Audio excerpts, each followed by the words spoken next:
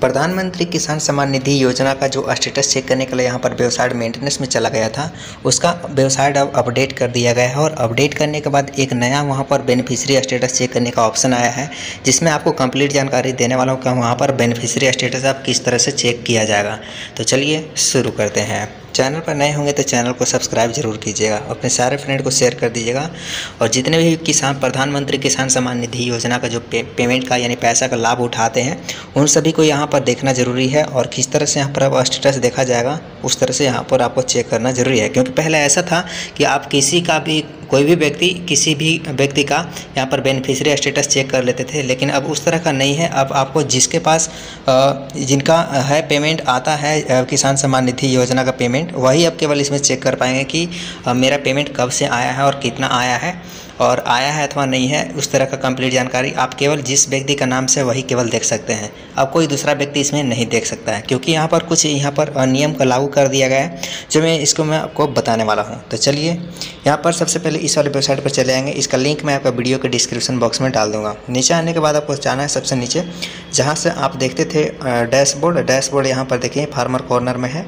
इसके बाद आपको नीचे आना है और यहाँ पर लिखा हुआ बेनिफिशरी स्टेटस जैसा कि आपको यहाँ पर दिखाया जा रहा है तो इस पर आपको एक बार क्लिक करना है। इस पर आप जैसे क्लिक करोगे तो यहाँ पर पेज कुछ ऐसा ओपन होगा। पहले यहाँ पर आता था अकाउंट नंबर, आधार नंबर और मोबाइल नंबर के माध्यम से। लेकिन अब यहाँ पर चेंज कर दिया गया है और चेंज करने के बाद यहाँ पर, देखिए यहाँ पर क्या है।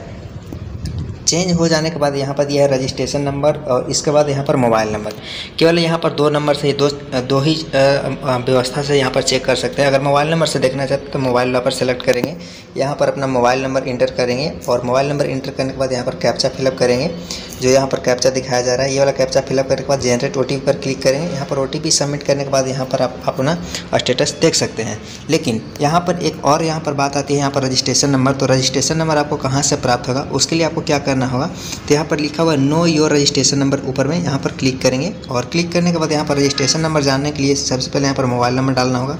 इसके बाद ये वाला कैप्चा इसके बाद यहाँ पर कैप्चा यहाँ पर डालने के बाद गेट ओ पर क्लिक करके यहाँ से आप रजिस्ट्रेशन नंबर प्राप्त कर सकते हैं। मेरे पास यहाँ पर किसी का डिटेल अवेलेबल नहीं है, नहीं तो आपको मैं यहाँ पर पूरा कंप्लीट जानकारी देकर बता देता कि आपको कैसे चेक करना है।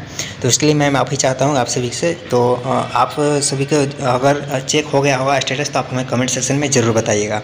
अगर इसमें प्रॉब्लम होता है तो आप कोई एक डॉक्यूमेंट शेयर करेंगे और मैं आपको चेक करके यहाँ पर पूरा कंप्लीट वीडियो लेकर आ जाऊँगा।